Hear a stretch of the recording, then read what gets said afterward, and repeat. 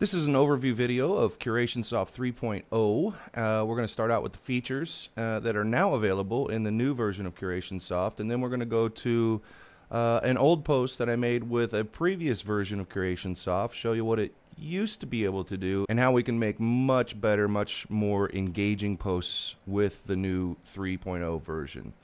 So starting out, we've got, of course, Mac and Windows compatibility, and we now have 18 content sources, including Google Blogs, Facebook, eBay, and Amazon for monetization. Instagram to add to the number of choices that you have for images. We've got Google Plus, that's a new one for 3.0. You can curate from there. Also, Wikimedia, Faroo Web Search, this is another search engine.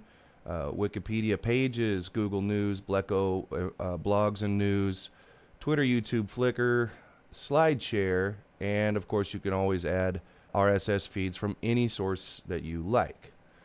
We've also got the ability to post to Facebook, Tumblr, WordPress, and Blogger through CurationSoft now. And so those are some of the new highlights of CurationSoft 3.0. Here's a post I made really quickly. This looks pretty familiar. You can drag a bunch of stuff over, and there you go. Lots of lots of text, lots of links. That's cool and all, but the CurationSoft 3.0 version can make this a lot better. So that's what we're going to do next is show you how I'm going to make this exact same post look a lot better.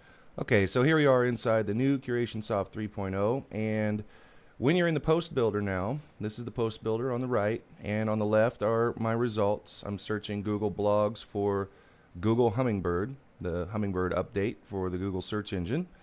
And that's what this story is about. And you'll notice that this is the same as what we had earlier over here, basically. So those are all my sources. It looks okay. I mean, it's it's good. It's curation and all, but it could be better, much much better. And that's what CurationSoft is giving us now. So, in order to give you an overview of some of the new stuff that's been added to CurationSoft and how we can make a post like this one much much better, uh, I'll go through some of the controls here. One that you'll notice is that there's a little expand button on your results now. So you can click on expand and it will show in a little mini browser the actual article in question. So you can do lots of things here. Now that you can hit the expand button and go to the actual post in question, you can grab snippets of anything that you want. Uh, you can grab the link from the result, select read more, add the link right there. And now you've got a result that nobody else is going to get. So basically, the bottom line more control. So expand and collapse on everything. You can do this with YouTube videos. You can watch the YouTube videos right here. As it goes and does the same exact search for Google Hummingbird without changing anything. If you want to see what this video is all about, just expand it and you can watch the video and vet them here. Uh, if it's not the right video, you just collapse it, keep going through until you find the videos that you want to use. One of the things that people have asked for is the ability to do columns so you can kind of make this look like a magazine. And we'll show you what that looks like. It'll make this look a lot more readable. It won't look like a mm, a list of results from a search engine, which essentially that's what this big thing is right here. So we can take these um, and and move them into a two column format like this.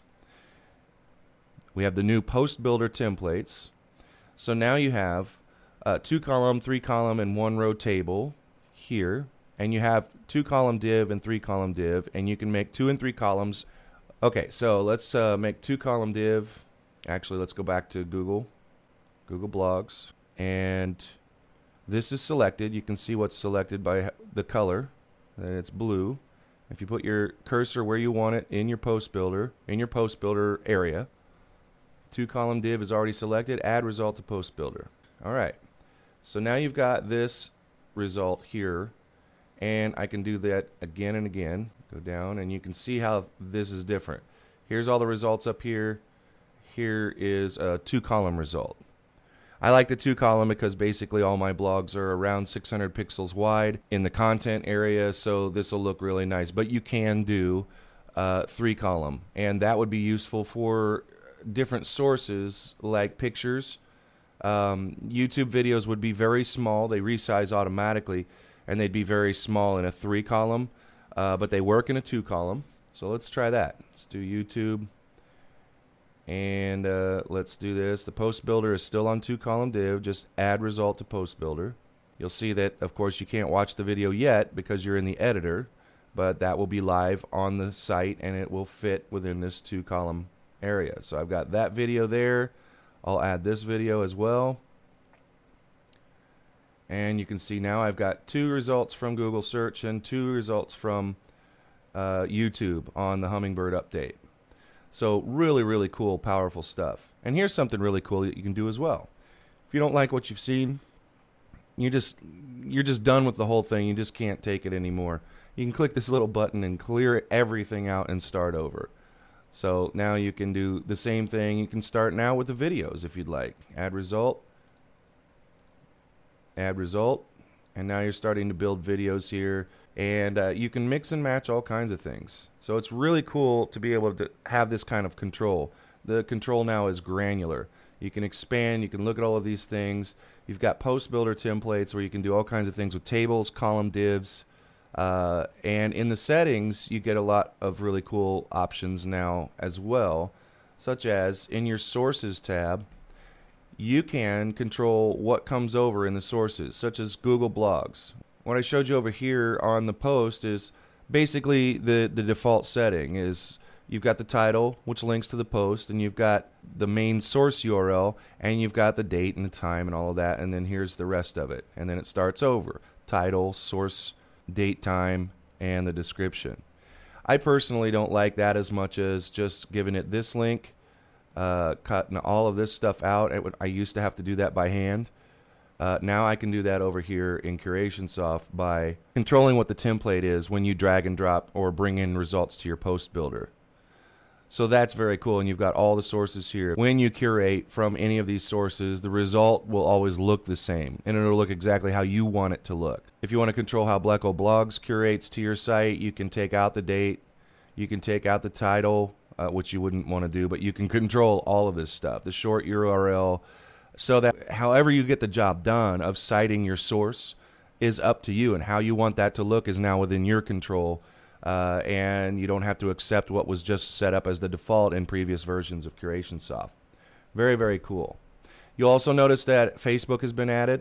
You can uh, check out people, pages, events, groups, places, all of that stuff, and curate from Facebook. You've got uh, the basically set up for your um, your blogs in WordPress. That's not new but you can set up if you have 10 blogs you can set up 10 blogs to post straight from the post builder and never have to go and open up wordpress if you don't want to you can post to blogger and you can post to tumblr through CurationSoft and we've also got instagram for more pictures so giving yourself a lot more ability with Instagram to find the pictures that you want, the, the, the pictures that you need. And of course, you can control search. Uh, those are all the tabs from the previous versions of CurationSoft. So back to this post. I'm going to keep this. I'm just going back to the original post. And we're going to build a new one, a better looking one here inside the post builder. So I want to start out with videos. I think that's more impactful. I think when people see that uh, the content they're about to read is something they can also watch and it won't take them much time, helps to keep people on the page, which helps your search engine rankings because the longer people stay, the less likely they're going to be a bounce, which Google counts. So we've got that. Um, now down below, I can do all kinds of different stuff. So going back to the post builder and trying to create something new and, and better out of this, uh, what we want to do is go with all of our other sources and do the same thing. Uh, and we can keep going with this. Select one that you want, and if you need to know what it is, just expand on it, and it will show where it came from. Of course, I respect everything that this guy does, Rand Fishkin on Moz blog, so I know that that's going to be a good result. I'm going to go ahead and take that selection and add it as well. So there it is. So now you're starting to get a magazine format, which is really, really cool. Okay, so I'm going to make this my post it's going to be prettier. It's going to be easier to get through. Uh, people are going to go, "Wow, this is this is really good content." They're going to engage with it more likely uh, than before when it looked like an aggregated post rather than a curated post. So I'm going to click post. Uh, I'm going to give it a title. So now these tags are going to go exactly where your tags on your blog go. And pick a category and go down to the proper category for this. And I'm going to set the status to draft. I don't want it to go up yet. I just want to show the result because I already put the other one up. You can also set the time. All of this is uh, not CurationSoft 3.0 editions. These have been here, but very cool, very powerful. That I can do all my curation for the week and have everything set to go at different intervals throughout the week Monday, Tuesday, Wednesday, Thursday, all the way through the weekend at specific times. Uh, and that is very, very powerful. You can get everything, get all your work done for the week and uh, just be out marketing and doing all the other things that you need to do.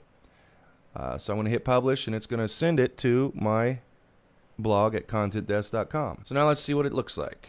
Uh, I'm going to do a preview. Okay, so here's what this would look like if this was live. This is a preview, and you get to see uh, all the content getting pulled from YouTube, and descriptions and everything, which is really good for search. Adds to the content on the page. So you got the videos and then the two uh, results under that. Makes for a really cool post. This is everything that CurationSoft did right here. So that versus this. Remember this old boring post? Now we've got two columns uh, much more interesting way of looking at the site, uh, of interacting with the content. The bottom line with CurationSoft 3.0 is control. And what gives me the feeling of more of an enterprise level uh, software than it's ever been before. Very, very cool, very, very powerful. So let's talk about monetization. There's some new monetization features in CurationSoft 3.0 uh, as sources, just like Google Blog Search, just like YouTube you now have the ability to check out uh, Amazon and eBay products that are related to your searches. I'm going to make some neat affiliate links to content on Amazon. On Google Hummingbird Update, what you need to know. That would be really great to put into this post just because that's basically how I built the post. So Google's going to see that and give me more relevance points for that. So I love this. So let's make that part of this post. You can go down and see, there it is.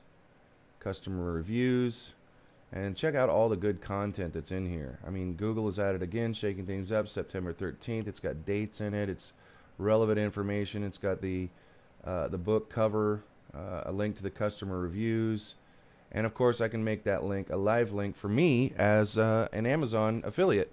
Really, really cool. I mean, everything's about control. You don't have to get to this level of of messing around with your posts, but you always have the power to do so.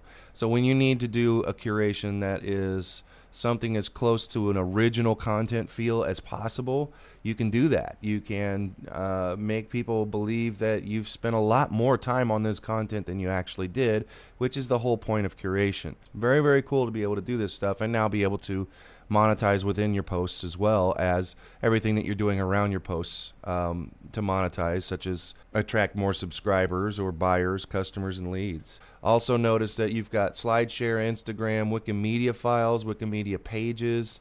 There's tons of really cool stuff. We started out with Google Blogs. And well, we started out with Google Blogs, and that was it. And then we've just been adding and adding and adding, and now you've got um, really a lot of stuff. And literally, you can curate the entire web. And why can I say that?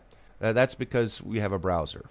And anywhere you want to go, any any link that you want to go to to curate from is fair game. So you pick where you want to go. So wherever you go, whatever you're interested in, whatever you're doing, uh, you can grab stuff and curate from anywhere, anytime. There are no restrictions anymore. If you have any questions whatsoever, always check out curationsoft.com, hit the support tab, and we'll be very happy to help you out with any questions that you have about this, including enterprise versions and licenses for very large organizations.